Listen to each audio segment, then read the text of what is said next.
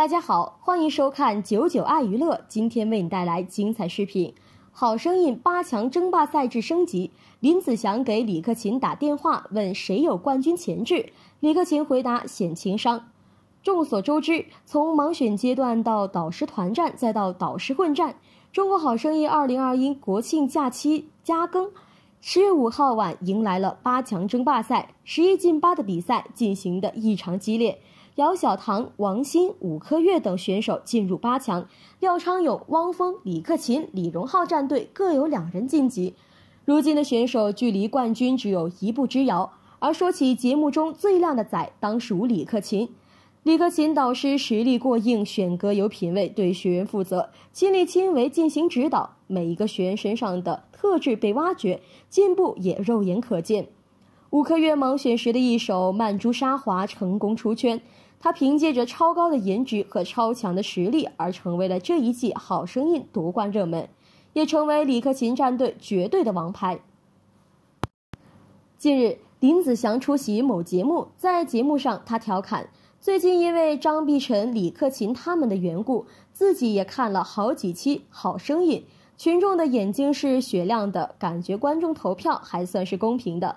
八强赛后。”姚晓棠、王鑫、武科月他们的实力真的是有目共睹，他们转音流畅，特色鲜明，感觉这次首次担当导师的李克勤绝对要抓破头，哈哈。随后，林子祥调侃：“昨天我还问李克勤说，好声音八强赛后，你认为哪个选手有冠军潜质？”对此，李克勤的回答还是很直接。说什么后续的比赛，与其说是实力较量，倒不如视为心态和竞技状态的博弈。谁发挥更稳定，谁就有机会胜出。还说请我吃饭，说我有大赛经验，帮我参谋参谋。哈哈，这个回答真的是很有情商。中国好声音国庆假期期间加更，十月五号迎来了八强争霸赛。虽然早有小道消息爆料八强学员的名单，但不到节目播出，观众们仍然不完全确认最终的八强学员会是谁。本期节目有许多精彩的地方，比如汪峰战队出了黑马学员姚晓棠，李克勤说专业评审团残忍，人气学员王静雯紧张到忘词，被导师们安慰。最终的八强学员是汪峰战队的姚晓棠、王鑫。李荣浩战队的王洪浩、王静雯，李克勤战队的武科月、贺三，廖昌永战队的张路新、陈文飞。从这一结果来看，汪峰在八强争霸赛中损失惨重，四位学员参与角逐，只有两位入选，失去了一半的学员；而廖昌永和李克勤均是两位学员参与角逐，两位全进。最终的八强学员，四位导师分别有两位入选，这样的结果看似很平均，让观众不得不怀疑这是来自官方的安排。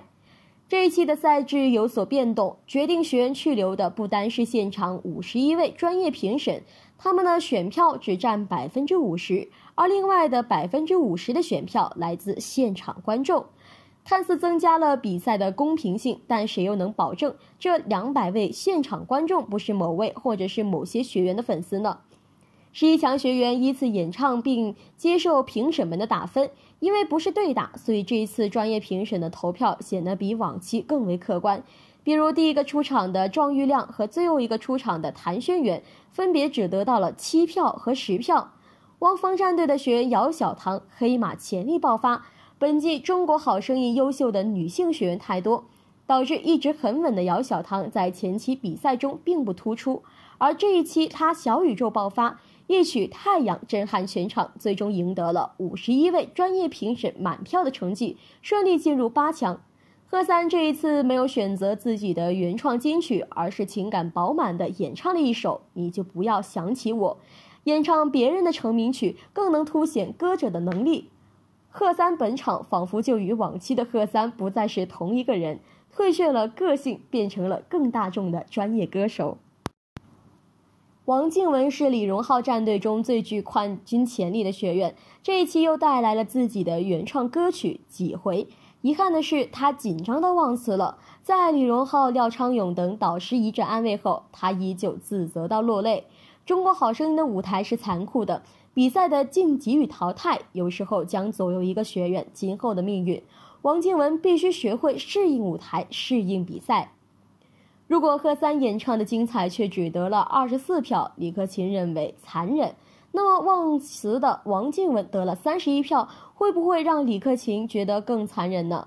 尽管这些票中饱含着对王靖雯的鼓励与安慰，有时候导师们真的不必太在意专业评审的意见，因为这只是一场比赛。真正优秀的学员，就算不晋级、不拿冠军，也能在后续的发展中变得更优秀。比如周深，被汪峰寄予厚望，这一次还放在最后一个压轴演唱的谭轩辕，本期最终被评审团们用投票的方式淘汰了。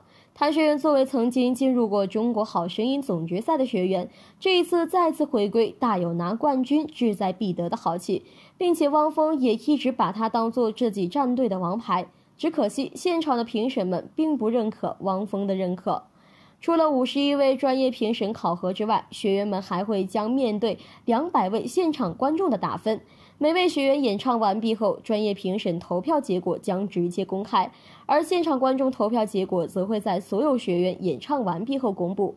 总分排名最后的三位学员将告别舞台，升级的赛制也将比赛的悬念拉满。在汪峰战队学员姚晓棠的身上，就发生了极具戏剧性的一幕。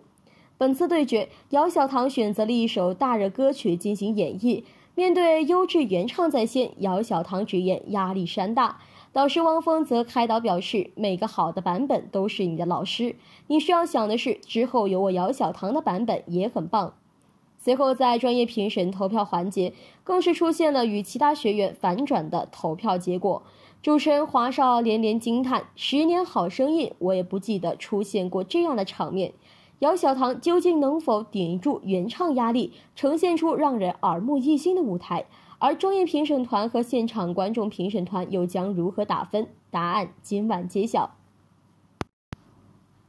面对更加严苛的评审团，各战队学员不约而同地选择跳出舒适圈，挑战自我。盲选以来便被赋予港风经典标签的五颗月，此番对决选择大胆突破，高水准的完成度让廖昌永导师连连赞叹，唱出了当代年轻人对老作品的感悟，非常了不起。李荣浩导师也点赞道：“一切都对，特对位，让我听到了这个东西，一下子就破防了。”另外，来自廖昌永战队的陈文飞也一改以往的抒情风格，选择了一首极具技巧和力量感的歌曲。关于选曲，陈文飞坦言太难了，连唱几遍后就感到筋疲力尽，但是也想给自己一些挑战。五颗月和陈文飞究竟会呈现怎样的舞台？而他们的挑战有突破，又能否得到评审团的认可？当然，《好声音》十周年盛典注定不会平凡。虽然网友有很多分析，但是最终冠军花落谁家，还要等决赛直播才知道。